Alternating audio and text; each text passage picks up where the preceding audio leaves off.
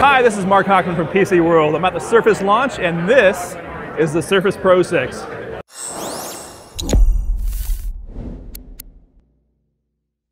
So currently we are on the ninth generation of Surface devices. This is actually the sixth generation of the Surface Pro. As you might imagine, it's called the Surface Pro 6. Now, if you look at it, there's really not a whole lot of difference from the Surface Pro. I mean, if you look at the, uh, the keyboard, it feels essentially the same.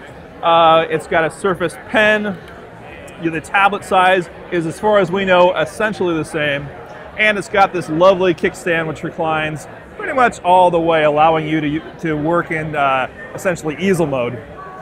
The key though is two things. One is of course the color. This is the first time we've seen black. Microsoft typically gives you the blue, the, uh, the, the, red, uh, the gray, and now we've gone to a sort of a back in black theme.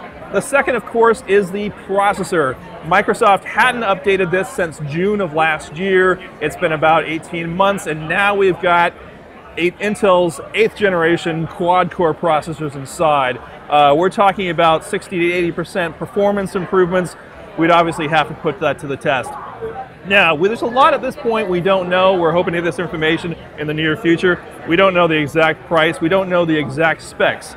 But we do know that it sounds like everything's going to be roughly comparable to the generation before. Up to about 8 gigs of memory, up to about a terabyte of SSD, uh, we do know the basic price. The basic price is going to be uh, $8.99. It's going to be out October 16th. We are going to put this through a hands-on, as you can imagine, give it through its run test, its rundown test. Um, definitely looking forward to the new generation of the Surface Pro 6, and stay tuned to PC World for more hands-ons. Thank you.